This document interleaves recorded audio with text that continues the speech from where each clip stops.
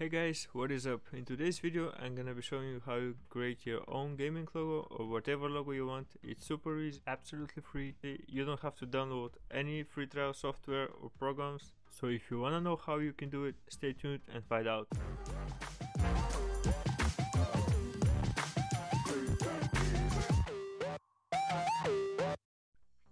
Okay, let's begin.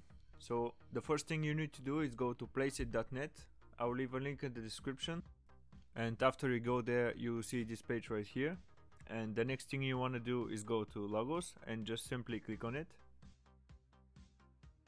Then you'll get up ending to this page which you put your brand name or whatever name you want to use. So I just type Molin and uh, choose all logos you can actually choose in whatever niche your logo is gonna be about later on we're gonna choose gaming right now. So this is a varieties of logos starting with Molin and uh, we're gonna choose uh, exact niche for what we are gonna looking for which is gaming. And actually if you click gaming you can see there's a bunch of other games that you can choose to be more specific. But today we're not gonna be doing anything specific. So as you can see we have many choices to pick from and actually there are more than 100 pages of ideas of gaming logos but you can be even more specific if you want a certain game you can find it. So you can also change the graphic if and now I'm gonna choose one of the graphics and it's gonna change the graphic for all of them with the same team as you can see.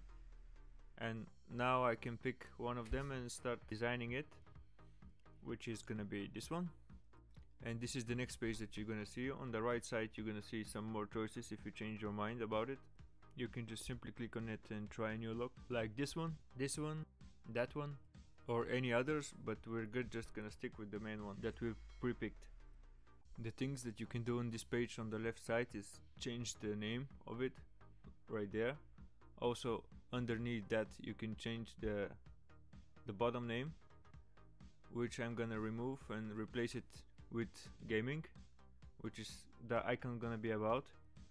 You can also change the color of both names simply next to the name and also change the font style of it which is placed under the name. On the right side of the page you can do similar things to that. You can change the color of the background of the main color and on the accent you can play with that and adjust it the way that you want. You don't have to use the basic animation that the site recommends you. You can customize your way. And let's say that you're done and uh, you like what you see and you wanna download it but it's gonna ask you to buy it for $40 but as I can say in the beginning of the video it's a way that you can get it for free. So simply you can just take a picture of the screen and cut the image.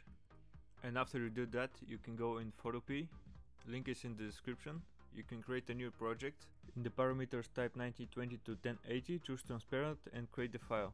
The next step is to find the image that you have previously taken a screenshot of. Simply by clicking on file open and place.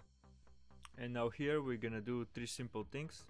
We are firstly gonna cut the background from it the second thing is that we're gonna remove the watermark and we're gonna replace a new background.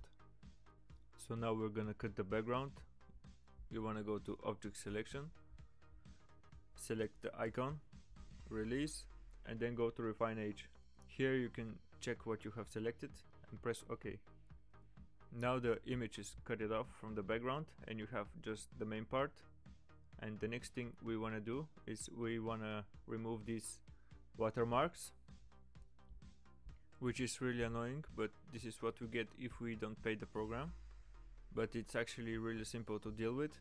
Actually you want to cut on this tool right here and then it will choose the color.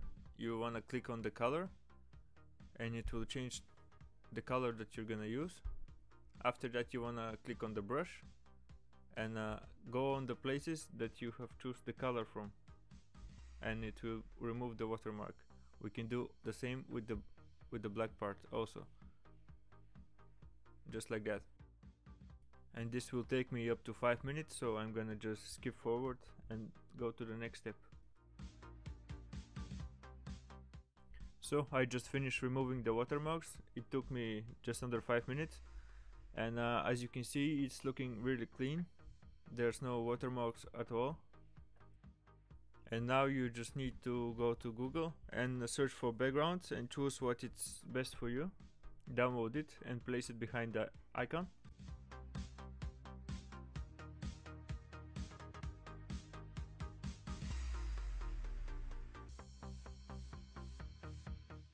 And after you're done with the background you can click on this tool right here and crop the picture so that it look more like uh, icon